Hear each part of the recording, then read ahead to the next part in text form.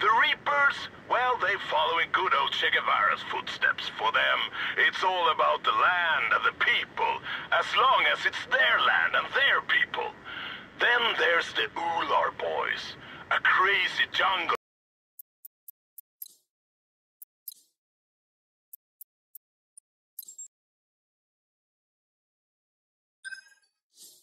Mob who plan to turn this island into a natural paradise. Meaning, no foreigners, no foreign goods and foreign pop music, dig? And careful, Rico. For sport that dies traitors with their mandaus.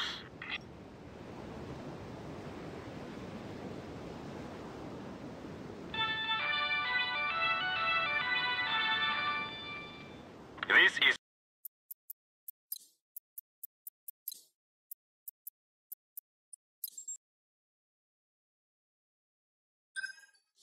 Radio Panau, the voice of truth.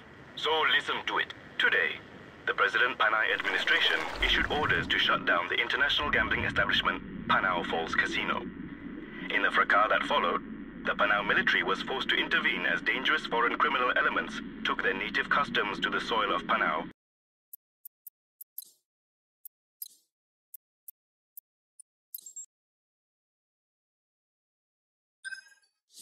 and attack police officials with machine guns and explosives. A lone gunman, with ties to famous criminal organizations all over the world, is said to have caused considerable damage before escaping with one of the foreigners due for deportation.